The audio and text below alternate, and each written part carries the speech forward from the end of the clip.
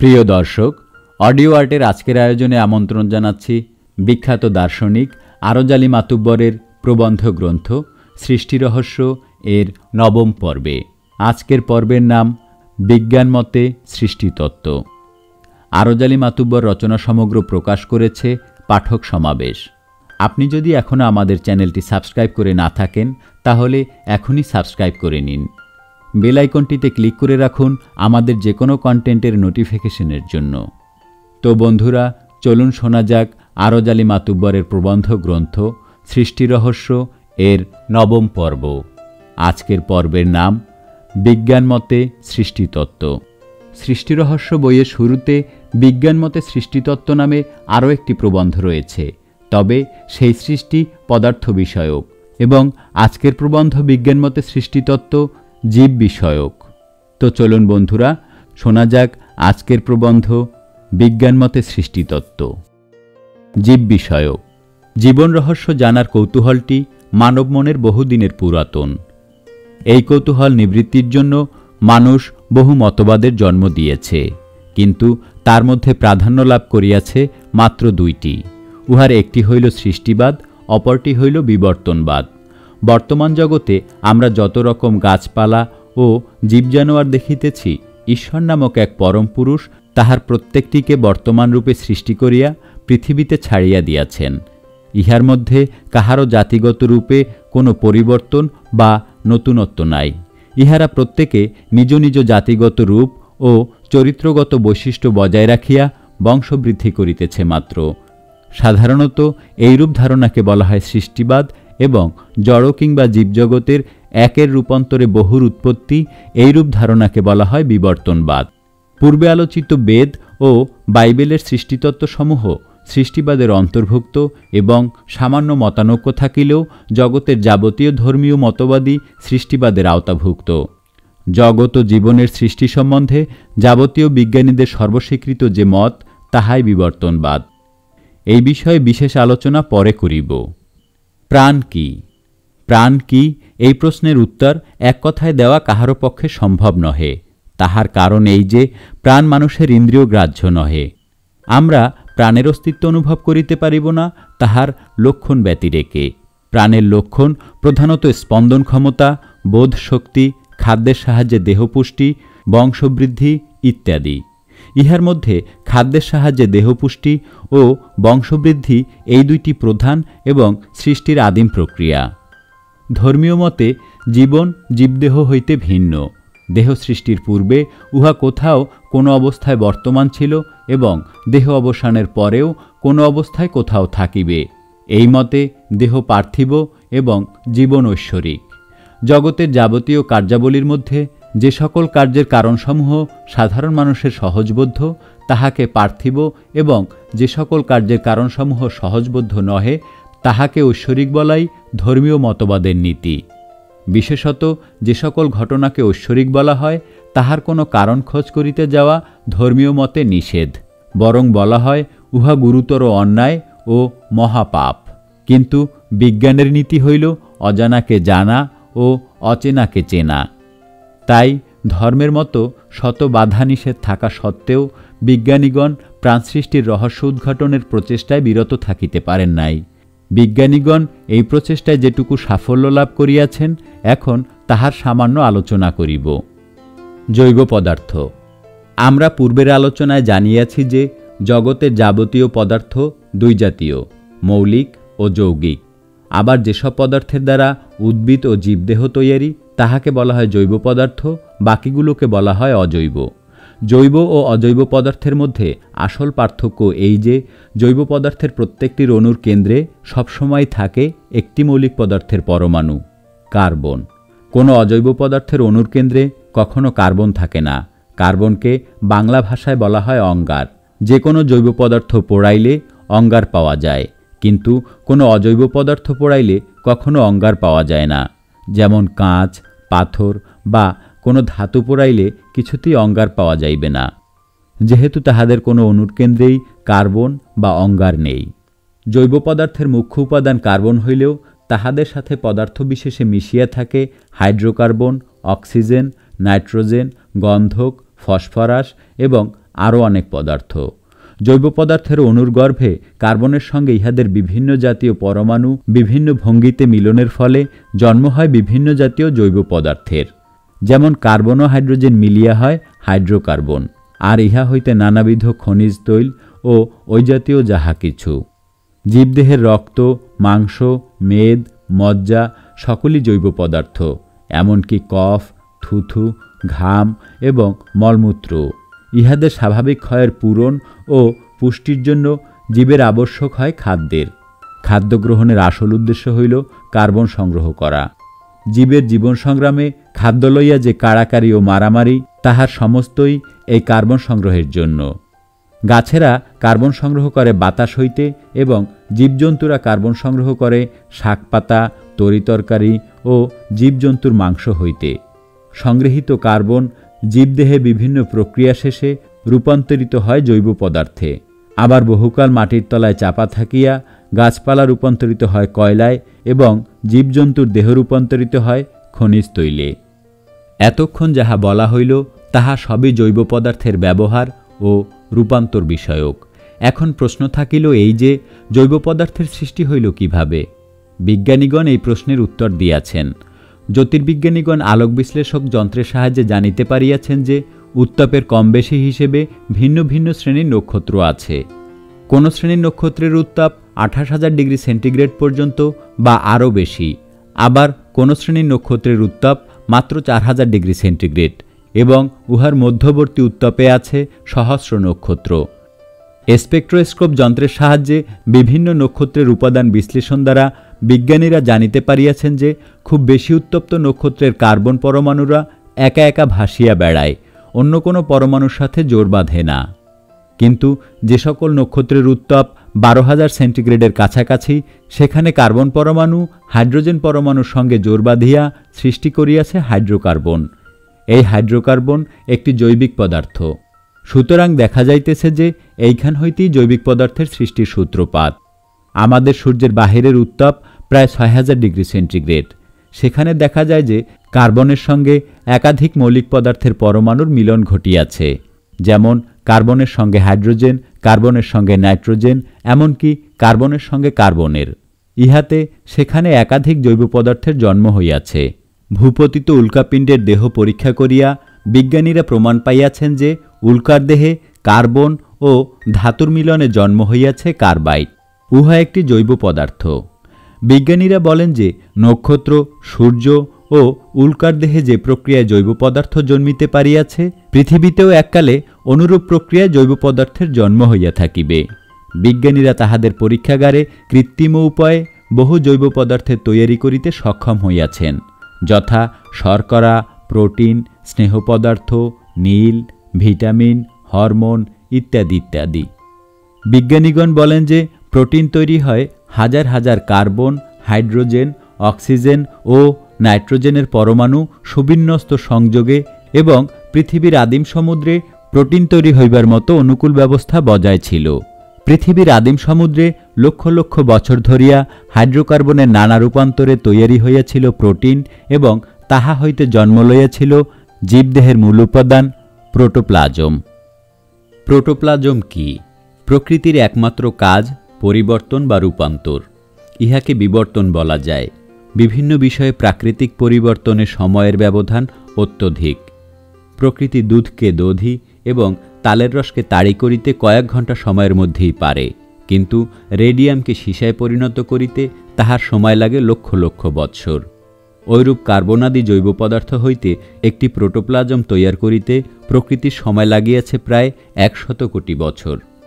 পদার্থ জৈব বা অজৈব, যাহাই হোক, উহা জীব নামে অভিহিত হইতে পারে না, যে পর্যন্ত উহাতে জীবনের কোনো লক্ষণ প্রকাশ না পায়। পূর্বেই বলিয়াছি যে, জীবনের প্রধান লক্ষণ দেহপুষ্টি ও বংশবিস্তার। কোনো পদার্থে যদি ওই দুটি লক্ষণ দেখিতে পাওয়া যায়, তাহা হইলে নিশ্চয়তার সহিত বলা যায় যে, ওই পদার্থটি সজীব। এখন দেখা যাক যে, কোন পদার্থে ওই দুইটি লক্ষণ পাওয়া যায়। প্রোটোপ্লাজমের মুখ্য উপাদান প্রোটিন এবং উহা ভিন্ন আরও জৈব অজৈব অনেকগুলি পদার্থ। উহা আদিম সমুদ্র জলে গোলাদ্রব অবস্থায় ছিল। উহাকে ইংরেজিতে বলে সলিউশন। চিনি বা লবণ গোলা জলকেও সলিউশন বলা যায়, কিন্তু প্রোটোপ্লাজম ওই ধরনের সলিউশন নহে। উহা এক বিশেষ ধরনের সলিউশন। ইংরেজিতে বলা হয় কলয়েডাল সলিউশন। চিনি বা লবণ জলে দ্রবীভূত হইলে উহাকে ছাকন প্রণালী দ্বারা জল হইতে ভিন্ন করা যায় না। কিন্তু কলয়েডাল সলিউশন ছাঁকুনিতে আটকা পড়ে। তাই বলিয়া এই আটকা পড়াই উহার বিশেষত্ব নহে। মাটি বা চুনগোলা জলও সূক্ষ্ম ছাঁকুনি দ্বারা ছাঁকিলে মাটি ও চুন ভিন্ন হইয়া যায়, কিন্তু ইহা কলয়েডাল সলিউশন নহে। যেহেতু মাটি বা চুন জলে গোলা হইলে সময়ান্তরে উহা থিতাইয়া পড়ে, কিন্তু কলয়েডাল সলিউশন কোনো কালেই থিতায় না। উহা এইরূপ এক বিশেষ পদার্থ যে জলে সম্পূর্ণ মেশে না, অথচ কোনো কালেই থিতায় না। জানিয়া রাখা উচিত যে কলাইডাল সলিউশন জৈব পদার্থের হইতে পারে, আবার অজৈব পদার্থেরও হইতে পারে। অজৈব পদার্থের কলয়েডাল সলিউশন হয়তো জলে সম্পূর্ণ মিশিয়া থাকে নচেত থিতাইয়া পড়ে। কিন্তু জৈব পদার্থের কলাইডাল সলিউশন জলে সম্পূর্ণ মেশে না, অথচ থিতাইয়াও পড়ে না। এইখানে লক্ষ্য করিবার বিষয় এই যে, অজৈব পদার্থের সঙ্গে জৈব পদার্থের একটি চরিত্রগত পার্থক্য প্রকট হইয়া উঠিয়াছে এবং সে এখন হইতে আর জড় পদার্থের নিয়মে অপরের শক্তিতে চালিত হইতে রাজি নহে। তাই কলয়েডাল সলিউশনের এই স্বকীয়তা। কলয়েডাল সলিউশনের আরেকটি বিশেষ গুণ হল এই যে, জলে অন্য যেসব জৈব অজৈব পদার্থ থাকে, উহাকে আত্মসাৎ করিয়া নিজ দেহ পুষ্ট করিতে থাকে। এইভাবে লক্ষ লক্ষ বছর অতিবাহিত হইলে কলাইডাল জৈব পদার্থটি আয়তনে ও ওজনে বহুগুণ বৃদ্ধি পায় ও শেষে ফাটিয়া দুই টুকরা হইয়া যায়, কিন্তু দুই টুকরা হইয়া উহারা মরে না। আলাদা আলাদা থাকিয়া আগের মতোই পুষ্ট হইতে থাকে এবং কালক্রমে আবার দুই টুকরা ফাটিয়া চার টুকরা হয় ও চার টুকরা ফাটিয়া আট টুকরা হয়। এইভাবে চলিতে থাকে কলয়েডাল পদার্থটির পুষ্টি ও বংশবৃদ্ধির ধারা। এইখানে লক্ষণীয় এই যে, কলাইডাল পদার্থটির মধ্যে জীবনের সর্বাপেক্ষা বড় দুইটি লক্ষণ প্রকাশ পাইয়াছে, একটি পুষ্টি আর একটি বংশবিস্তার। এই বিশেষ ধরনের কলাইডাল পদার্থটির নাম প্রোটোপ্লাজম বা সেল, বাংলায় বলা হয় জীবকোষ। বিজ্ঞানীগণ বলেন যে, আদিম সমুদ্রের জলে অতি তুচ্ছ প্রোটোপ্লাজমের বিন্দুকে আশ্রয় করিয়াই হইয়াছিল প্রাণের অভ্যুদয় এবং জগতে জীবনের অভিযান শুরু। কৃত্রিম উপায়ে প্রাণ সৃষ্টি প্রকৃতি রাজ্যে আদিম প্রাণ সৃষ্টি সম্বন্ধে বৈজ্ঞানিক মতবাদের যে আলোচনা করা হইল, তাহাতে বোঝা যায় যে প্রাণশক্তিটি কোনো কোনো পদার্থের সম্মিলিত রাসায়নিক ক্রিয়ায় উদ্ভূত একটি অভিনব শক্তি। এইখানে একটি প্রশ্ন আসিয়া থাকে যে প্রকৃতিরাজ্যে রাসায়নিক সম্মিলনে এখনও কি প্রাণের সৃষ্টি হইয়া থাকে? উহার উত্তরে বিজ্ঞানীগণ বলিয়া থাকেন, না। কেননা তখনকার পৃথিবীর প্রাকৃতিক অবস্থা এমন এক পর্যায়ে ছিল, অর্থাৎ তাপ, আলো, বায়ুচাপ, জলবায়ুর উপাদান ইত্যাদির পরিমাণ এরূপ ছিল, যাহাতে তখন প্রাণের উদ্ভব সম্ভব হইয়াছিল। কিন্তু সেই আদিম অবস্থা এখন আর নাই। ভবিষ্যতে তাহার পুনরুদ্ভব হইবারও সম্ভাবনা নাই। এখন চলিতেছে বীজোৎপন্ন প্রাণপ্রবাহ, অর্থাৎ প্রাণ হইতে প্রাণের উদ্ভবের ধারা। তবুও অনেকদিন হইতে বিজ্ঞানীগণ ভাবিতেছিলেন যে, কৃত্রিম উপায় অবস্থান্তর ঘটাইয়া প্রাণ সৃষ্টি করা যায় কিনা। কৃত্রিম উপায়ে প্রাণ সৃষ্টি ও চন্দ্রালোকে গমন করা মানুষের পক্ষে সম্ভব কিনা, তাহা লইয়া আলোচনা হইয়াছিল কয়েক বৎসর পূর্বে বিজ্ঞানীদের এক সম্মেলনে এবং আলোচনা স্থির হইয়াছিল, উহা সম্ভব। অতপর অনেক বিজ্ঞানী গবেষণা চালাইতে থাকেন, উহা বাস্তবায়নের জন্য। বিষয় দুইটির লক্ষ্যবস্তু হইল পরস্পর বিপরীতমুখী, অর্থাৎ একটি হইল বহির্জগতের সুদূর মহাকাশে অবস্থিত এবং অপরটি হইল জীবের অন্তর্জগতে, একেবারে কেন্দ্রে অবস্থিত। এই বিষয় দুইটি লইয়া দুই দল বৈজ্ঞানিকের মধ্যে চলিতে থাকিল অতি দূর এবং অতি নিকটের রহস্য উদ্ঘটনের পাল্লা। যাহাদের গবেষণার পরীক্ষা ও পর্যবেক্ষণাদি বহির্মুখী, অর্থাৎ আকাশ মহাকাশ জুড়িয়া তাহাদের কর্মক্ষেত্র, তাহাদের গবেষণা যাবতীয় সংবাদপত্র, রেডিও, টেলিভিশন ইত্যাদিতে প্রচারের ফলে পৃথিবীতে তুমুল হইচই পড়িয়া গিয়াছিল অনেকবারেই। কোনো মানুষের কাছে এখন আর উহা অজানা বলিয়া মনে হয় না। বিশেষত টেলিভিশন যন্ত্রযোগে চন্দ্রাভিযানের দৃশ্য সচক্ষে দেখিয়াছেন হাজার হাজার লোকে।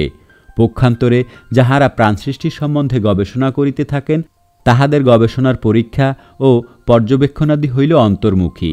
অর্থাৎ গবেষণাগারেই সীমাবদ্ধ এবং জনসাধারণের দৃষ্টিসীমার আড়ালে অবস্থিত। বিশেষত চন্দ্রাভিযানের সংবাদের ন্যায় প্রাণসৃষ্টির সংবাদ তত ব্যাপক আকারে প্রচারিত হয় নাই। তাই কৃত্রিম উপায়ে প্রাণ সৃষ্টি এই বিষয়টি অনেকেই অবগত নহেন। কিন্তু প্রাণ সৃষ্টির অভিযান সফল হইয়াছে, চন্দ্রাভিযান সফল হইবার প্রায় দেড় বৎসর পূর্বে। উনিশশো সাতষট্টি আটষট্টি সালের শীতকালে ক্যালিফোর্নিয়ার স্ট্যানফোর্ড ইউনিভার্সিটির অধ্যাপক ডক্টর আর্থার কোরনবার্গ এবং তাহার সহকারীগণ মিলিয়া টেস্ট টিউবে অজৈব পদার্থ সিএইচওএন ইত্যাদি সংমিশ্রণে জৈব ভাইরাস সৃষ্টি করিতে সক্ষম হন। উক্ত ভাইরাস প্রকৃতিজাত জীবন্ত ভাইরাসের ন্যায় নড়াচড়া করে। ইহাতে বহুকালের বৈজ্ঞানিক কল্পনা বাস্তবে পরিণত হয়। তথ্যসূত্র life in a test tube the amazing world of nature পৃষ্ঠা নম্বর দুইশত তিরিশ। আলোচ্য আবিষ্কারটি হইল বিজ্ঞানীদের প্রযোজিত জীবননাট্য অভিনয়ের প্রথম অঙ্ক। ইতিপূর্বে উনিশশো আটাশ খ্রিস্টাব্দে জার্মান বৈজ্ঞানিক ফ্রেডরিক ওহলার টেস্টিউবে ইউরিয়া তৈরি করিয়া প্রমাণ করিয়া দেন, প্রকৃতির ন্যায় মানুষও জৈব পদার্থ তৈয়ারি করিতে পারে। জানি না ইহার জবনিকা কত দূরে। সে যাহা হোক, এখন প্রকৃতিজাত প্রাণের বিবর্তন সম্বন্ধে কিছু আলোচনা করা যাক। প্রাণের বিবর্তন, প্রাক ক্যাম্ব্রিয়ান যুগের শেষ দিকের কথা। তখন আকৃতি ও প্রকৃতিতে সেল বা জীবনকোষগুলি জীব পদবাচ্য নহে। কিন্তু উহাতে জীবনের প্রধান দুইটি লক্ষণ যখন প্রকাশ পাইয়াছে, তখন উহাকে আর নির্জীব বলা চলে না। জীবকোষগুলির কোনো ইন্দ্রিয় নাই, বিশিষ্ট কোনো চেহারা নাই, আহার করে সর্বশরীর দিয়ে চুষিয়া। পর্যাপ্ত পুষ্টিকর আহার পাইলে অতি দ্রুত বংশবিস্তার করিতে পারে। শরীরের কোনো এক স্থানে আঘাত পাইলে সর্বশরীর শিহরিয়া ওঠে। ইহাতে দেখা যায় যে জীবকোষে জীবনের আরেকটি লক্ষণ প্রকাশ পাইয়াছে বোধ শক্তি আদিম জীবকোষের বংশাবলী আজও দেখা যায় খালে বিলের নোংরা জলে। উহা নরম তুলতুলে জেলির মতো শ্যাওলা জাতীয় এক প্রকার জল পদার্থ অনুবীক্ষণ যন্ত্র দ্বারা দেখিলে উহাতে দেখা যায় অসংখ্য বিন্দু বিন্দু জীবকোষ। ইহাদের বলা হয় অ্যামিবা। ইহারা জীবজগতের আদিম প্রাণী, এককোষ বিশিষ্ট জীব। কালক্রমে কোনো কোনো জীবকোষ একা একা না থাকিয়া মধুপোকার মতো কতগুলিতে একত্রে জটলা করিয়া থাকিতে আরম্ভ করে। জটলার বাহিরের দিকের কোষগুলি খাদ্য সংগ্রহ করিলে ভিতরের কোষগুলি উহা চুষিয়া লয় এবং স্থানে থাকিয়া উহাদের পুষ্টি ও বংশবৃদ্ধি হইতে থাকে। উহার ফলে জটলাটির কলেবর বৃদ্ধি পায়। জটলার ভিতরের কোষগুলি স্বতন্ত্র সত্তা বজায় থাকে, কিন্তু বাহিরে হইয়া যায় এক। এইভাবে নানা আকৃতি বিশিষ্ট জটলা তৈরি হইয়া সমুদ্র জলে বহুকোষী জীবের আবির্ভাব ঘটে, উদ্ভিদ ও জীব। আজ হইতে প্রায় একশত কোটি বছর আগের কথা। তখন ভূপৃষ্ঠের কোথাও গাছপালা বা জীবজন্তুর চিহ্নও ছিল না। সমুদ্র জল ছিল লবণহীন, কিছুটা গরম এবং উহাতে মিশিয়া ছিল নানাবিধ জৈবাজৈব পদার্থ। অধিকাংশই কার্বন ডাই অক্সাইড আকাশ ঘন কুয়াশায় ভরা। যেহেতু তখনও আকাশের সমস্ত জলীয় বাষ্প বৃষ্টির আকারে ঝরিয়া পড়ে নাই, কাজেই ভূপৃষ্ঠের কোথাও অবাধে সূর্যের আলো পৌঁছায় না। বাতাসে অক্সিজেন নাই বলিলেই চলে। আছে প্রচুর কার্বন ডাই অক্সাইড এহেন অবস্থার মধ্যে সমুদ্রের জলে অতি ধীরে ধীরে চলিতেছিল জীবাণুদের বংশবিস্তার। কালক্রমে পৃথিবী আরও শীতল হইয়া আকাশের সমস্ত জলীয় বাষ্প প্রায় নিঃশেষে ঝরিয়া পড়িল। সূর্যালোক অবাধে ভূপৃষ্ঠে পতিত হইতে থাকে এবং সূর্যালোক পাইয়া জীবাণুরাজ্যে এক নবজাগরণের সাড়া পড়িয়া যায়। শীতের দিনে ভোরের রৌদ্র সকলেই ভালোবাসে, কিন্তু উহা উপভোগ করিবার সুযোগ সকলে পায় না। আবার রোদ পোহাইলে আরাম পাওয়া যায় বটে, কিন্তু উহাতে পেট ভরে না। রোদ পোহাইলে যদি পেট ভরিত, তাহা হইলে খাদ্য সংকটের ঝঞ্ঝাট না করিয়া জীবেরা আজীবন রোদ পোহাইত সাগরের জলে রৌদ্র পড়িলে যে সকল জীবাণু উহা উপভোগ করিবার সুযোগ পাইল, তাহারা একটি আশ্চর্য সুবিধা পাইয়া গেল। উহারা দেখিল যে রোদ পোহাইলে পেট ভরে। সুতরাং উহারা নাড়াচাড়া না করিয়া সংবৎসর শুধু রোদ পোহাইয়া দেহ পুষ্ট করিল এবং বংশবৃদ্ধি করিতে লাগিল। এইরূপ সুবিধাভোগী জীবাণুরা হইল উদ্ভিদ। আর যে সকল জীবাণু সমুদ্রের গভীর জলে থাকিবার দরুন বা অন্য কোনো কারণে সূর্যালোকের সংস্পর্শ পায় নাই, খাবার সংগ্রহের জন্য তাহাদের কিছু নাড়াচাড়া না করিয়া উপায় রহিল না। সূর্যদেবের সাপ এই সকল জীবাণুর বর হইল। অতি সুবিধাভোগী জীবাণুরা হইল জীব বা জন্তু। এই বিষয়টি আরও একটু বিস্তারিতভাবে বলি। আজকাল আমরা গাছপালার পাতায় যে সবুজ রঙের বাহার দেখি, উহা রঙের বাহার মাত্র নহে। গাছের পাতায় সূর্যালোক পতিত হইয়া সবুজ রঙের একটি প্রলেপ পড়ে। উহাকে বলা হয় ক্লোরোফিল। ক্লোরোফিল পদার্থটির একটি বিশেষ ক্ষমতা এই যে, উহা বাতাসের কার্বন ডাইঅক্সাইডকে ধরিয়া উহার কার্বন ও অক্সিজেনকে দুই ভাগে বিভক্ত করে এবং কার্বনকে গাছের দেহপুষ্টির জন্য রাখিয়া অক্সিজেনকে বাতাসে ফিরাইয়া দেয়। যে সকল জীবাণুর দেহে সূর্যালোক পতিত হইল, তাহাদের শরীরে জন্মিল ক্লোরোফিল এবং উহার সাহায্যে জীবাণুরা বসিয়া বসিয়া খাবার খাইয়া অচল জীবনযাপনে অভ্যস্ত হইল। ইহারা জাতিতে হইল উদ্ভিদ। পূর্বেই বলিয়াছি যে, ওই সময়ের বাতাসে ছিল প্রচুর পরিমাণে কার্বন ডাইঅক্সাইড। তাই উদ্ভিদনুরা অনায়াসে অতিমাত্রায় পুষ্টিকর খাদ্য কার্বন পাইয়া দ্রুত বংশবৃদ্ধি করিতে থাকে এবং বিবর্তনের ধারা অনুসারে নানা শ্রেণীতে বিভক্ত হইয়া ক্রমোন্নতির পথে আগাইয়া চলে। বিবর্তনের প্রথম ধাপে দেখা যায় শ্যাওলা জাতীয় বিবিধ নিম্নশ্রেণীর জলজ উদ্ভিদ। যে সকল জীবাণু সূর্যালোক হইতে বঞ্চিত রহিল তাহারা অন্য উপায়ে কার্বন সংগ্রহের চেষ্টা করিতে থাকিল। উদ্ভিদানুর দেহে প্রচুর কার্বন মজুদ পাইয়া জীবাণুরা উহাদের আত্মসাৎ করিতে লাগিল।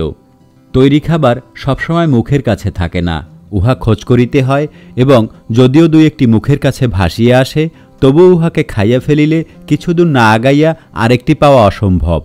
তাই জীবাণুরা খাবার সংগ্রহের তাগিদে কিছু কিছু চলাফেরায় অভ্যস্ত হইল। বিশেষত উদ্ভিদাণুদের খাইয়া খাইয়া জীবাণুদের রাক্ষসেপনা বাড়িয়া গেল। সবল জীবাণুরা দুর্বল জীবাণুদের খাইতে আরম্ভ করিল। ইহাতে আরেকটি ফল হইল এই যে, শিকারী চায় ধরিতে আর শিকার চায় পালাইতে। কাজেই আক্রমণ ও আত্মরক্ষার জন্য জীবাণুরা দ্রুত চলাচলে অভ্যস্ত হইল এবং প্রচুর আয়াসলভ্য খাদ্য খাইয়া বিবর্তনের ধারামতে বিভিন্ন শ্রেণীতে বিভক্ত হইয়া ক্রমোন্নতির পথে দ্রুত অগ্রসর হইতে লাগিল। ইহাদের বিবর্তনের প্রথম ধাপে দেখা যায় ট্রাইলোবাইট নামক কয়েক শ্রেণির পোকাজাতীয় জলজ জীব।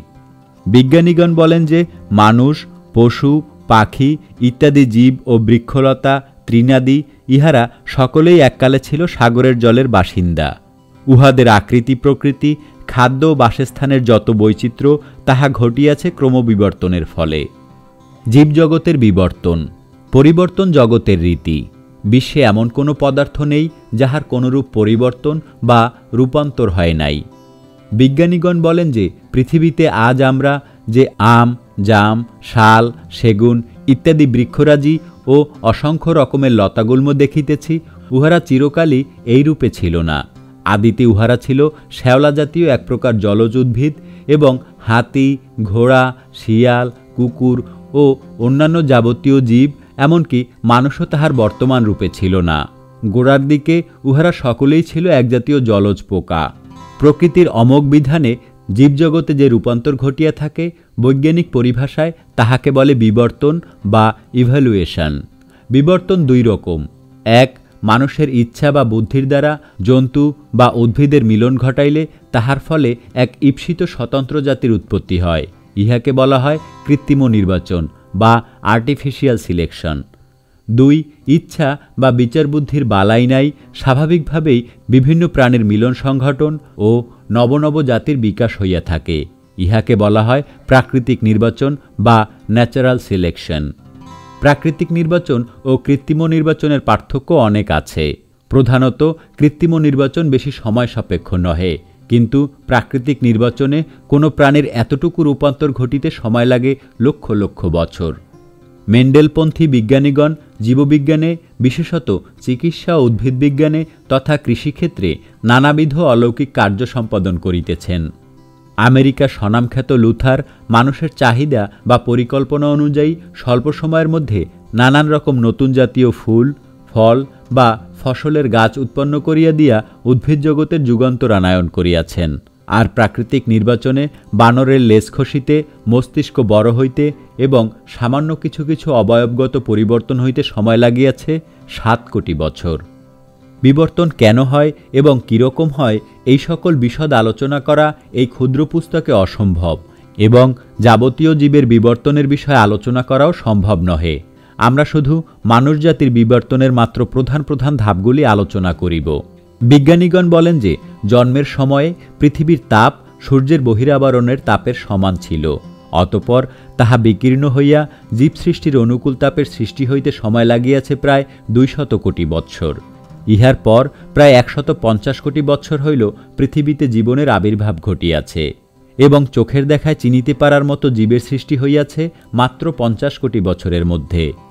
কিন্তু উহার মধ্যে মাত্র পাঁচ হাজার বছরের বেশি সময়ের লিখিত ইতিহাস মানুষের হাতে নেই। এখন প্রশ্ন হইতে পারে যে, অনন্ত অতীতের বহু খবর মানুষ জানিতে পাইয়াছেন ধর্মগুরুদের কাছে এবং ধর্মগুরুরা পাইয়াছেন প্রত্যাদেশ রূপে বা সৃষ্টিকর্তার সাথে আলাপ আলোচনা করিয়া। বিজ্ঞানীরা উহা পাইলেন কোথায়? এই কথা সত্য যে, বিজ্ঞানীগণ কোনরূপ প্রত্যাদেশ বা সৃষ্টিকর্তার দেখা সাক্ষাৎ পান নাই। তাহারা বলেন যে, সৃষ্টির ইতিহাস লেখা আছে সৃষ্ট পদার্থের গর্ভে। অর্থাৎ, যে লিপির সাহায্যে অতীতকালের জীবন ইতিহাস জানিয়াছেন, তাহার নাম জীবাশ্ম বা ফসিল। ফসিল কি? ভূতত্ত্ব হইতে জানা যায় যে, পৃথিবীর সমতল ভূমি ও সমুদ্রতল স্তরে স্তরে সজ্জিত আছে। পাহাড় পর্বত হইতে নদীর জল পলিয়া নিয়া প্রতি বৎসর সমতল ভূমি বা সমুদ্রতলে উহা বিছাইয়া দেওয়ার ফলে ওই স্তরের সৃষ্টি হইয়াছে। ক্রমশ স্তর উঁচু হইতে থাকে, ইহাতে নিম্নাঞ্চলের মাটি কঠিন হইয়া পাথরের আকৃতি ধারণ করে। বিজ্ঞানীগণ বিভিন্ন স্তরের প্রকৃতি ও গুণাগুণ পরীক্ষা করিয়া বলিতে পারেন যে, কোন স্তরের বয়স কত। গাছের গুড়ি, বহুকাল মাটির নিচে চাপা পড়িয়া থাকিলে উহা পাথরের আকার ধারণ করে। এই অবস্থায় উহাকে আমরা পাথর কয়লা বলি। ঐরূপ কোনো জন্তুর দেহ বহুকাল মাটির নিচে চাপা পড়িয়া থাকিলে উহার কঙ্কালসমূহ পাথরের আকার ধারণ করে। বৈজ্ঞানিক পরিভাষায় উহাকে বলা হয় জীবাশ্ম বা ফসিল। সেই স্তর সৃষ্টি হইবার সমকালে ভূপৃষ্ঠে যে জীব বর্তমান ছিল, সেই জীবদেহের কিছু না কিছু চিহ্ন সেই স্তরে থাকিয়া গিয়াছে এবং উহা ফসিল রূপে বর্তমান আছে। বলা বাহুল্য যে, ভূগর্ভস্থ যে স্তর যত নিম্নে, সেই স্তর তত পুরনো এবং যে স্তর যত উপরে, সেই স্তর তত আধুনিক। ভূগর্ভস্থ কোনো বিশেষ স্তরে প্রাপ্ত ফসিল পর্যবেক্ষণ করিয়া বিজ্ঞানীগণ বলিতে পারেন যে, ওই জন্তুটি কোন যুগে বা কত বৎসর পূর্বে বর্তমান ছিল এবং উহার আকৃতি, প্রকৃতি, চালচলন, এমনকি আহার বিহার কীরকম ছিল। যুগ বিভাগ হিন্দু যুগ চারটি, যথা সত্য, ত্রেতা, দাপর ও কলি। বৈশাখ মাসের শুক্লপক্ষীয় তৃতীয়ার রবিবারে সত্যযুগের উৎপত্তি হয়। এই যুগের পরিমাণ সতেরো লক্ষ আটাশ হাজার বৎসর। এই যুগে মৎস্য, কুর্ম, বরাহ, নৃসিংহ এই চারি অবতার। সত্যযুগে বৈবৎস, মনু, ইক্ষাকু, বালি, পৃথ্বু, মান্ধাতা, পুররবা প্রভৃতি রাজা ছিলেন। মানবগণের লক্ষ বৎসর পরমায়ু ও একবিংশতি হস্তপরিমিত দেহ ছিল। কার্তিক মাসের শুক্লা নবমী তিথিতে সোমবার ত্রেতাযুগের উৎপত্তি।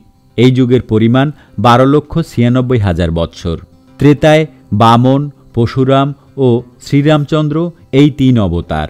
এই যুগে ককুস্থ ত্রিশংশু হরিশ্চন্দ্র মরুত্ব অনরণ্য, সাগর, অংশুমান, রঘু, অজ, দশরথ প্রভৃতি রাজা রাজত্ব করিতেন। এই সময় লোকের পরমায়ু ছিল দশ সহস্র বছর এবং দেহ ছিল চতুর্দশ হস্ত পরিমিত। ভাদ্র মাসের কৃষ্ণাত্রয়োদশী তিথিতে বৃহস্পতিবারে দাপর যুগের আরম্ভ হয়। এই যুগের পরিমাণ আট লক্ষ চৌষট্টি হাজার বৎসর। এই যুগে বলরাম ও বুদ্ধ এই দুই অবতার। শাল, বিরাট, ময়ূরধ্বজ, শান্তনু, দুর্যোধন, যুধিষ্ঠির, জরাসন্ধ প্রভৃতি এই যুগের রাজা ছিলেন। এইকালে মানুষের সহস্র বছর পরমায়ু ও সপ্তহস্ত পরিমিত দেহ ছিল। মাঘী পূর্ণিমা শুক্রবারে কলিযুগের উৎপত্তি হয়। এই যুগের পরিমাণ চার লক্ষ বত্রিশ হাজার বৎসর। এই যুগের শেষভাগে কল্কি অবতার আবির্ভূত হইবেন। সেই সময় যুগের মানুষের পরমায়ু একশো বিশ বৎসর এবং দেহ সার্ধত্রিহস্ত পরিমিত। বাংলা তেরোশো সাতাত্তর সাল পর্যন্ত এই যুগের মাত্র পাঁচ হাজার সত্তর বৎসর গত হইয়াছে। উক্ত চার যুগের শাস্ত্রীয় বিবরণের সমালোচনা বা সত্যাসত্য যাচাই করা আমাদের উদ্দেশ্য নহে। উহা যুগমানবদের কর্তব্য। আলোচ্য চার যুগের মোট বয়স তেতাল্লিশ লক্ষ বিশ হাজার বৎসর এবং কলিযুগ শেষ হইতে এখনও চার লক্ষ ছাব্বিশ হাজার নয়শত বত্রিশ বৎসর বাকি। সুতরাং অতীত হইয়াছে আটত্রিশ লক্ষ তিরানব্বই হাজার আটষট্টি বৎসর। কলিযুগের অবসানে কোন যুগ আসিবে এবং সত্যযুগের পূর্বে কোনো জীব বা যুগ ছিল কিনা শাস্ত্রকার তাহার কোনো ইঙ্গিত দেন নাই। আলোচ্য চার যুগের অতীতকাল বিজ্ঞানীদের সর্বাধুনিক প্লিস্টোসেন উপযুক্তিরও সমান নহে। এই যুগটির বর্তমান বয়স পঞ্চাশ লক্ষ বৎসর। পক্ষান্তরে বাইবেলের মতে, বিশ্বের সৃষ্টি বা মানুষের সৃষ্টি হইয়াছে খ্রিস্টপূর্ব চার হাজার চার সালে, অর্থাৎ এখন হইতে পাঁচ হাজার নয়শো চুয়াত্তর বৎসর আগে। উপরোক্ত চার যুগের বয়স হিসেবে দেখা যায়, মোট বয়সের দশ ভাগের চার ভাগ সত্য যুগ, তিন ভাগ ত্রেতা যুগ, দুই ভাগ দাপর যুগ এবং এক ভাগ কলির ভাগে পড়িয়াছে। অর্থাৎ কলির বয়সের দ্বিগুণ দাপর, তিনগুণ ত্রেতা এবং চার গুণ পড়িয়াছে সত্যযুগের ভাগে। এইরূপ আঙ্কিক যুগবিভাগ বিজ্ঞানীগণ করেন না, তাহাদের যুগবিভাগ অন্যরকম। প্রত্নতত্ত্ববিদগণ ভূগর্ভের স্তরগুলি কালক্রমিক কতগুলো ভাগে বিভক্ত করিয়াছেন, উহার এক একটি ভাগকে বলা হয় এক একটি যুগ। এখন হইতে পঞ্চাশ কোটি বছর আগের সমস্ত যুগকে একত্রে বলা হয় আর্কেওজৈক মহাযুগ বা প্রাক ক্যাম্ব্রিয়ান যুগ। এই যুগে যে সমস্ত প্রাণী বর্তমান ছিল, তাহাদের অস্তিত্বের সন্ধানটুকু পাওয়া যায় মাত্র। বিশেষভাবে কিছু জানার উপায় নাই। যেহেতু তাহাদের দেহ ছিল নরম তুলতুলে, দেহ আবরণ বলিতে কিছু ছিল না, তাই তাহাদের কোনো ফসিল, ভূগর্ভে পাওয়া যায় নাই। ক্যাম্ব্রিয়ান যুগের আরম্ভ হইবার পর হইতে কোনো কোনো প্রাণীদেহ কঠিন খোলস বা বর্মে আবৃত হয়, যেমন চিংড়ি, কাকড়া ইত্যাদি। এই সময় হইতেই শিলালিপি বা ফসিল প্রাপ্ত হওয়া যায়। বিজ্ঞানীগণ যে সময় হইতে ফসিল বা শিলালিপির সাহায্যে জীবজগতের ইতিহাস জানিতে পারেন, সেই সময়টিকে তাহারা বলেন ঐতিহাসিক যুগ। এই ঐতিহাসিক যুগটিকে আবার তিন পর্যায়ে ভাগ করা হইয়াছে, যথা পুরাজীবীয় যুগ, মধ্যজীবীয় যুগ ও নবজীবীয় যুগ। এই তিনটি যুগের ব্যাপ্তি পঞ্চাশ কোটি বৎসর। ইহার মধ্যে পুরাজীবীয় যুগ একত্রিশ কোটি বৎসর। ইহা পঞ্চাশ কোটি বছর আগে আরম্ভ হইয়া শেষ হইয়াছে উনিশ কোটি বৎসর আগে। এই যুগটির ছয়টি উপযুগ আছে। মধ্যজীবীয় যুগটির ব্যাপ্তি বারো কোটি বৎসর ইহা উনিশ কোটি বৎসর আগে আরম্ভ হইয়া শেষ হইয়াছে সাত কোটি বৎসর আগে। এই যুগটির তিনটি উপযুগ আছে। নবজীবীয় যুগ, অর্থাৎ বর্তমান যুগটি মাত্র সাত কোটি বছর আগে আরম্ভ হইয়া এখনও চলিতেছে। ইহার পাঁচটি উপযুগ আছে। সর্বশেষ উপযুগটির নাম প্লিস্টোসেন উপযুগ। এই যুগটি পঞ্চাশ লক্ষ বছর আগে আরম্ভ হইয়া এখনও চলিতেছে। জীবজগতের বিবর্তন, বিশেষত মানুষজাতির বিবর্তনের ক্ষেত্রে এই প্লিস্টোসেন উপযুক্তির গুরুত্ব অপরিসীম। বিবর্তনের ক্রমিক ধারা হৃদয়ঙ্গম করিতে হইলে যুগ ও উপযুগগুলি সম্বন্ধে মোটামুটি একটি ধারণা থাকা আবশ্যক। পুরাজীবীয় যুগ। এই যুগের প্রথমে ভূপৃষ্ঠে যে স্তরের সৃষ্টি হইয়াছিল, তাহা পর্যবেক্ষণ করিয়া বিজ্ঞানীগণ স্থলভাগে কোনো জীবের অস্তিত্ব পান নাই। সমুদ্রে পাইয়াছেন জলজ উদ্ভিদ ও আলপিনের মাথার মতো ক্ষুদ্র একজাতীয় পোকা, উহাদের বলা হয় ট্রাইলোবাইট। কয়েক কোটি বছর পর দেখা যায় যে ওই পোকার আকার হইয়াছে প্রায় এক ফুট। বর্তমানে উহার সকল শাখায় বাঁচিয়া নাই। যে দুই একটি দল বাঁচিয়া আছে, খুব সম্ভবত তাহারা উহাদের বংশধর কাকড়া, গলদা চিংড়ি ইত্যাদি। ট্রাইলোবাইটদের একদল নদী বা হ্রদে আশ্রয় লয়। উহাদের নাম ইউরিপটেরিডস। ভূপৃষ্ঠের আলোড়নে নদী বা হ্রদ শুকাইয়া গেলে উহাদের বেশিরভাগই মারা পড়ে। কতক সমুদ্রে চলিয়া যায় এবং কোনো কোনো দল শুকনয়ও বাঁচিয়া থাকে। ইহাদের পরিবর্তিত রূপ বিষচিক মাকড়সা ইত্যাদি এবং কেহ কেহ উড়িবার ক্ষমতা লাভ করিয়া হয় পতঙ্গ। যাহারা সমুদ্রে চলিয়া যায়, কয়েক কোটি বৎসরের মধ্যে তাহাদের দেহ হয় খোলস বা চর্মে আবৃত। বর্মধারী জীব, যথা কাকড়া, কাছিম, শামুক ইত্যাদিরা যত সহজে শত্রুর আক্রমণ প্রতিহত করিতে পারে, চর্মধারী জীবেরা তত সহজে আত্মরক্ষা করিতে পারে না। তাই আত্মরক্ষার তাগিদে চলাচলের জন্য চর্মধারী জীবের দেহে তৈরি হয় মেরুদণ্ড। আজ হইতে প্রায় ৩৫ কোটি বৎসর পূর্বে অর্ডোভিসিয়ান উপযুগের শেষ দিকে প্রথম মেরুদণ্ড বিশিষ্ট যে সকল জীবের জন্ম হয়, তাহাদিগের একদলকে বলা হয় মাছ। মাছেরা সচরাচর কানকো সাহায্যেই জল হইতে বাতাস সংগ্রহ করিয়া শ্বাসকার্য চালাইয়া থাকে। কিন্তু কালক্রমে কোনো কোনো মাছের আবার ফুসফুস গঠিত হইয়াছিল। এই ধরনের মাছ এখনও দেখিতে পাওয়া যায় আফ্রিকার সাগরে, যেমন কোয়েলাকান্থ মাছ। ফুসফুসওয়ালা মাছেরা ডাঙায় উঠিয়া পড়িলেও মারা যায় না। জল ও স্থল উভয় স্থানেই বাঁচিয়া থাকিতে পারে। যে সকল মাছ সমুদ্রের উপকূলের কাছাকাছি বাস করিত, ঢেউয়ের আঘাতে বা জোয়ারের জলের সাথে তাহাদের কেহ কেহ ডাঙায় উঠিয়া পড়িত। ইহাদের অনেকে মরিয়া যাইত, কিন্তু সকলে মরিত না। পরবর্তী ঢেউয়ের বা জোয়ারের জল আসা পর্যন্ত বাঁচিয়া থাকিতে পারিত।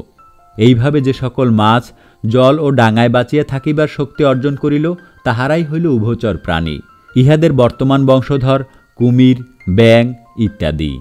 উভচরদের সকলেই ডাঙার জীবন পছন্দ করে নাই। কতক উভচর জন্তু আবার জলে বাস করিতে আরম্ভ করে। তাহাদের বর্তমান বংশধর তিমি শুশুক ইত্যাদি। উভচরদের কোনো কোনো শাখা স্থায়ীভাবে স্থলে বাস করিতে আরম্ভ করে। পরিবেশের পরিবর্তনের সাথে সাথে তাহাদের শরীরেও নানা পরিবর্তন দেখা দেয়। তাহাদের লেজ আর চ্যাপটা থাকিল না। শল্ক হইল পশম এবং পাখনা হইল পা। এইভাবে আটাশ কোটি বৎসর পূর্বে উভচর মৎস্যদের একটি দল স্থায়ীভাবে ডাঙাবাসী হইল। তাহাদের নাম হইল সরীসৃপ। জীব সৃষ্টির আদি হইতে আজ পর্যন্ত যত রকম জীব জন্মিয়াছে তাহার মধ্যে এই সরীসৃপ অতি বৃহৎ এবং ভয়ানক। এই বিষয়ে পরে আলোচনা করা হইবে। পুরজীবীয় যুগের শেষভাগে ভূপৃষ্ঠে উদ্ভিদের অতিশয় সমৃদ্ধি হইয়াছিল। সমুদ্রতীর ও জলাভূমিতে জন্মিয়াছিল নিবিড় অরণ্য। ভূপৃষ্ঠের আলোড়নে সেই নিবিড় অরণ্য মাটির নিচে চাপা পড়িয়া অত্যাধিক চাপ ও তাপের প্রভাবে রূপান্তরিত হইয়াছে কয়লায়। এই কারণেই এই যুগটির নামকরণ করা হইয়াছে কার্বনিফেরাস। অর্থাৎ আজকাল আমরা যে পাথর কয়লা ব্যবহার করি, তাহা এই যুগের অর্থাৎ আটাশ কোটি বৎসর আগের বৃক্ষদের দেহের ধ্বংসাবশেষ বা ফসিল। মধ্যজীবীয় যুগ। এই যুগের গাছপালা, জীবজন্তু সবই ছিল অতিকায়। জীবজন্তুর মধ্যে সরীসৃপরাই ছিল সংখ্যায় বেশি এবং বিশাল আকার। এই যুগটিকে সরীসৃপদের যুগও বলা হয়। এই যুগটি উনিশ কোটি বৎসর আগে আরম্ভ হইয়াছে এবং শেষ হইয়াছে সাত কোটি বৎসর আগে। এই যুগের নানাবিধ সরীসৃপদের মধ্যে যে শ্রেণির সরীসৃপরা প্রাধান্য লাভ করিয়াছে, তাহাদিগকে বলা হয় ডাইনোসার। এই ডাইনোসারের আবার কয়েকটি প্রকার ভেদ আছে, যথা ব্রন্টোসরাস, ট্রাইরানোসরাস, অল্লোসরাস, গোর্গোসরাস সেরাটোসরাস, এস্টেগোসরাস ইত্যাদি। একটি ব্রন্টোসারাসের দৈর্ঘ্য ছিল অন্তত পনেরো গজ এবং উহার ওজন ছিল পঞ্চাশ টন, অর্থাৎ এক হাজার পাঁচশো তিরিশ মন। একটি ট্রাইনোসরাসের ওজন ছিল প্রায় দশ টন এবং লম্বায় ছিল পঞ্চাশ ফিটেরও বেশি। আকৃতি ও প্রকৃতিতে পার্থক্য থাকিলেও ওই সকল সরীসৃপদের কতক বিষয় মিল ছিল। উহারা সকলেই পিছনের বিরাট পা ও লেজের উপর ভর দিয়া ছুটিত। সামনের খুদে খুদে থাবা দুইটি ব্যবহার করিত একমাত্র খাবার ও লড়াইয়ের জন্য। উহারা সকলেই ছিল মাংসাশী। একদল সরীসৃপ আকাশে উড়িতে শুরু করিয়াছিল। উহাদের বলা হয় টেরোডাকটিল। ইহাদের গায়ে পালক বা পশম ছিল না। ছিল শুধু চামড়ার ডানা ও ধারালো দাঁতওয়ালা মুখ। মধ্যজীবীয় যুগের শেষ দিকে ক্রেটাসিয়াস উপযুগ। অর্থাৎ প্রায় আট কোটি বছর আগে টেরোডাকটিলেরা এইরূপ বিশাল আকার হইয়াছিল যে এক ডানার প্রান্ত হইতে আর এক ডানার প্রান্তের মাপ ছিল পঁচিশ ফিট। এই উড়ন্ত সরীসৃপরাই ছিল আধুনিক পাখির পূর্বপুরুষ। একই যুগেই দেখা যায় যে উড়ন্ত সরীসৃপদের রূপান্তর হইতে আরম্ভ করিয়াছে এবং উহাতে পাখির লক্ষণ দেখা দিয়াছে। এইরূপ আরেকটি উড়ন্ত জীব আর্কিওপটেরিক্স। এইটি পাখি ও সরীসৃপের মিশ্র রূপ। আধা পাখি, আধা সরীসৃপ। আধুনিক সাপ, কুমির, গিরগিটি ইত্যাদির মতো সেই যুগের সরীসৃপরা ছিল ডিম্বপ্রসূত জীব। কিন্তু দেখা যায় যে ট্রিয়াসিক উপযুগে, অর্থাৎ আজ হইতে প্রায় পনেরো কোটি বছর আগে, একদল খুদে খুদে জীব ডিম্ব প্রসাব না করিয়া গর্ভধারণ ও বাচ্চা প্রসব করিত। এই সময় হইতেই স্তন্যপায়ী জীবের আবির্ভাব হয়। বিশেষত সরীসৃপদের রক্ত ছিল ঠান্ডা কিন্তু স্তন্যপায়ীদের রক্ত গরম। মধ্যজীবীয় যুগের শেষ দিকে ক্রেটাসিয়াস উপযুগে ব্রন্টোসারসাদি কোনো জাতের ডাইনোসারের চিহ্ন বা ফসিল পাওয়া যায় না। এইরূপ অতিকায় মহাশক্তিশালী একটি জীবের সম্পূর্ণ জাতি ধ্বংস হওয়ার কারণ লইয়া জীববিজ্ঞানীদের অনেক আলোচনা চলিতেছে। কেহ বলেন, বিপ্লব বা যুগ পরিবর্তনের সঙ্গে সঙ্গে ডাইনোসারদের দৈহিক পরিবর্তন না হওয়ায় ও পারিপার্শ্বিক অবস্থার সঙ্গে খাপ খাওয়াইয়া চলিতে না পারায় ডাইনোসারেরা বংশরক্ষা করিতে পারে নাই। কেহ বলেন, মানুষের ব্যক্তিগত জীবনে যেরূপ যৌবন ও বার্ধক্য আছে এবং বার্ধক্যে সন্তান উৎপাদন শক্তি থাকে না বা কমিয়া যায়। প্রত্যেক জীবের জীবগত জীবনেও তদ্রূপ বার্ধক্য আছে এবং জাতিগত বার্ধক্যেও ওই জাতির সন্তান উৎপাদন শক্তি থাকে না বা কমিয়া যায়। মধ্যজীবীয় যুগে সরীসৃপ তথা ডাইনোসারদের জাতিগত জীবনের পার্থক্য হেতুই উহারা সবংশে বিলুপ্ত হইয়া যায়। ভূপৃষ্ঠে ডাইনোসারদের একাধিপত্য ছিল প্রায় দশ কোটি বৎসর। অন্যান্য জীবদের বেলায় যাহাই ঘটিয়া থাকুক না কেন, স্তন্যপায়ীরা দুইটি বড় রকমের সুবিধা পাইয়াছিল, যাহা অন্যান্য জীবেদের মধ্যে ছিল না। প্রথমত উষ্ণ রক্তের অধিকারী হওয়ায় স্তন্যপায়ী জীবেরা শীত, গ্রীষ্ম, বর্ষা বা যে কোনো রকমের প্রাকৃতিক পরিবর্তনের সঙ্গে নিজেদের খাপ খাওয়াইয়া নিতে পারিয়াছিল। দ্বিতীয়ত, স্তন্যপায়ীদের সন্তান বাৎসল্য ছিল। অন্যান্য জীবেদের মধ্যে এই দুটির একটিও ছিল না। কাজেই অন্যান্য জীবগণদের পিছনে ফেলিয়া স্তন্যপায়ীরা উন্নতির পথে আগাইয়া চলিয়াছিল। নবজীবীয় যুগ। আজ হইতে প্রায় সাত কোটি বৎসর পূর্বে এওসন উপযুগের প্রথমেই দেখা যায় যে স্তন্যপায়ী জীবগণ বহু শাখা প্রশাখায় বিভক্ত হইয়া অধিকাংশ ভূভাগ জুড়িয়া বসবাস করিতেছে। ওই যুগের স্তন্যপায়ীগণ আকারে এখনকার স্তন্যপায়ীদের চেয়ে ঢের ছোট ছিল। বর্তমান যুগের হাতি, ঘোড়া, শুকর গন্ডার ইত্যাদি প্রাণীদের আদিপুরুষ ছিল একটি স্তন্যপায়ী জীব, উহার নাম ফেনাডোকাস। আকারে ইহা শিয়ালের চেয়ে বড় ছিল না। হিংস্র ও মাংসাশী একদল স্তন্যপায়ী জীব ছিল, যাহার নাম ক্রিওডন্ট। কালক্রমে এই ক্রিওডন্টরা দুই ভাগে ভাগ হইয়া যায়। একদলের চেহারা ছিল কুকুরের মতো। ইহাদের ক্রমবিবর্তনে কুকুর, নেকড়েবাঘ, ভাল্লুক ইত্যাদি এবং আরেক দলের চেহারা ছিল বিড়ালের মতো। ইহাদের ক্রমবিবর্তনে জন্মিয়াছে বিড়াল, বাঘ ইত্যাদি। অন্যান্য স্তন্যপায়ীদের মধ্যে ছিল এক প্রকারের খুদে খুদে জীব। ইহারা গাছে চড়িতে পারিত ও ডালে ডালে লাফালাফি করিত। নবজীবীয় যুগের প্রথম পর্বের সকল স্তন্যপায়ী জীব আজ বর্তমানে নাই। কোনো কোনো দল লুপ্ত হইয়া গিয়াছে, আবার কোনো কোনো নতুন দলের আবির্ভাব ঘটিয়াছে। সাত কোটি বৎসর লাগিয়াছে উহাদের বর্তমান আকারে পৌঁছাইতে। যে সকল জীব মাটিতে বিশেষ করে বনে জঙ্গলে চলাফেরা করে, তাহাদের দৃষ্টিশক্তির চেয়ে ঘ্রাণ শক্তি বেশি। কেননা, ঝোপ জঙ্গলের বাধাজনিত কারণে দৃষ্টিশক্তি তত বেশি কাজে লাগে না।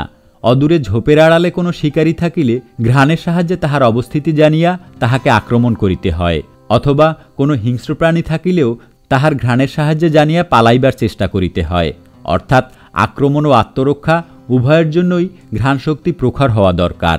কিন্তু বৃক্ষারোহীদের ঘ্রাণশক্তি বিশেষ কোনো কাজে আসে না। তাহাদের চাই প্রখর দৃষ্টিশক্তি। এক ডাল হইতে লাফাইয়া আরেক ডাল ধরিতে হইলে চাই লক্ষ্যস্থলের দূরত্ব ও অবস্থান সঠিক নির্ণয় করা, অন্যথায় জীবন বিপন্ন হইতে পারে। এইরূপ ক্রমিক চেষ্টার ফলে বৃক্ষারোহী জীবদের দৃষ্টিশক্তি উন্নততর হয় এবং সঙ্গে সঙ্গে চক্ষু ও অক্ষিগোলকের অবস্থান পাল্টাইয়া যায়। অন্যান্য প্রাণীরা দুই চক্ষুতে একটি বস্তুর দুইটি ছবি দেখে। কিন্তু বৃক্ষারোহীদের চক্ষুর অবস্থান পরিবর্তিত হইয়া এইরূপ হইল যে উহারা দেখে একটি। ইহাতে লক্ষ্যভ্রষ্ট হইবার সম্ভাবনা কম। চতুষ্পদ জন্তুটির চারটি পাই ব্যবহার করিতে হয় হাঁটার জন্য। কিন্তু বৃক্ষারোহীদের শাখা হইতে শাখান্তরে লাফালাফি করিতে সামনের পাদুটি ব্যবহার করিতে হয় ধরার জন্য।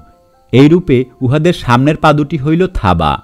বৃক্ষারোহীদের আরও কয়েকটি বিষয় অভিজ্ঞতা লাভ হইয়াছিল। ডালে ডালে লাফালাফি করিবার কালে প্রতি মুহূর্তে কর্তব্য নির্ধারণ, অর্থাৎ লক্ষ্য স্থির করার জন্য দ্রুত মস্তিষ্ক চালনা করিতে করিতে মস্তিষ্ক বড় হইয়াছিল। অভিজ্ঞতা বৃদ্ধির সাথে সাথে পিছনের দুই পায়ে ভর দিয়া হাঁটায় অভ্যস্ত হইয়াছিল এবং থাবা দুটি ব্যবহার করিতে আরম্ভ করিল আক্রমণ ও আত্মরক্ষার কাজে। দুই পায়ে চলাফেরার সুবিধা অনেক। ইহাতে সামনের পা দুটি সবসময় মুক্ত থাকে। প্রথমত আশ্রাইয়া কামড়াইয়া শিকার ধরা বা আক্রমণকারী শত্রুর কবল হইতে রক্ষা পাওয়ার অপেক্ষা ডালপালা ব্যবহার করা বহুগুণে উত্তম। দ্বিতীয়ত, মুখের সাহায্যে খাদ্য আহরণের চেয়ে থাবার সাহায্যে খাদ্যদ্রব্য তুলিয়া মুখে দেওয়ায় শ্রান্তি কম এবং শান্তি বেশি। এইরূপ নানাবিধ সুবিধা পাইয়া একদল বৃক্ষারোহী জীব পুরোমাত্রায় দ্বিপদ হইয়া উঠিল এবং উহাদের থাবা দুটি পরিণত হইল হাতে। থাবা ব্যবহার করে না, মুখের সাহায্যে খাবার তুলিয়া লয়, এইরূপ চতুষ্পদ জন্তুদের প্রায় সকলেরই মুখমণ্ডল হয় লম্বাটে, অর্থাৎ গরু, ঘোড়া, শিয়াল, কুকুর ইত্যাদি। আর যারা থাবা ব্যবহার করে, এইরূপ জন্তুদের মুখমণ্ডল হয় গোল, যথা বাঘ, বিড়াল, সিংহ ইত্যাদি। দ্বিপদ জন্তুরা খাবার তুলিয়া মুখে দেওয়া ও মশামাছি তাড়াইবার কাজে হাত ব্যবহার করিতে আরম্ভ করিল। তাহাদের মুখমণ্ডল হইতে থাকে গোল এবং মশামাছি তাড়ানোর জন্য ধুলাবালি, ঝাড়া ইত্যাদি কোনো কাজে লেজের ব্যবহার না থাকায় লেজটি হইতে থাকে ছোট। কালক্রমে উহাদের মেরুদণ্ডের শেষ প্রান্তে সামান্য একটু নমুনা ছাড়া লেজের আর কোনো চিহ্নই থাকিল না। ইহাদের বলা হয় প্যারাপিথেকাস। উক্তরূপে একটি অভিনব জন্তুর উদ্ভব হইলে কালক্রমে উহারা আবার দুই ভাগে বিভক্ত হইয়া পড়ে। উহাদের মধ্যে একটির লেজ নাই, মুখমণ্ড ঈষৎ গোল উহারা সোজা হইয়া হাঁটিতে পারে এবং যাবতীয় কাজে হাত ব্যবহার করে। এই জন্তুটি বানর নহে, শিম্পাঞ্জি বা গরিলা এবং ওরাংওটাংও নহে এবং পুরোপুরি মানুষও নহে। ইংরেজিতে ইহাদেরকে বলা হয় অ্যান্থ্রোপ্রোডয়েট এপ বা মানুষ সাদৃশ বানর। ইহারা মানুষের পূর্বপুরুষ। প্যারাপিথেকাসের অপর শাখার জন্তুদের সাথে অ্যান্থ্রোপয়েড অ্যাপের চলাচল ও আকৃতিগত পার্থক্য সামান্য হইলেও তাহারা বন মানুষের পূর্বপুরুষ। ক্রমবিবর্তনের কোনোটিই অল্প সময়ে হয় না। ক্ষুদ্র একবিন্দু প্রোটোপ্লাজম হইতে চোখের দেখায় চিনিতে পারার মতো জীবের সৃষ্টি হইতে তুলতুলে শরীরে বর্মসাজ ও মেরুদণ্ড জন্মিতে সময় লাগিয়াছিল প্রায় একশত কোটি বৎসর এবং জলচর হইতে উভচর, স্থলচর, সরীসৃপ ও পশুরূপ ধারণ করিয়া তাহাদের লেজ খসিতে সময় লাগিয়াছিল আরও প্রায় পঞ্চাশ কোটি বৎসর। বন্ধুরা, আজ তাহলে এ পর্যন্তই। কথা হবে পরবর্তী পর্বে। ততক্ষণ ভালো থাকুন, সুস্থ থাকুন, মন ভালো রাখতে বই পড়ুন। আপনার সন্তানের হাতে খেলনা হিসেবে বন্দুক পিস্তল ছুরি না দিয়ে তার হাতে সুন্দর একটি রংচঙে বই তুলে দিন। এতে করে তার বই পড়ার অভ্যাস গড়ে উঠবে।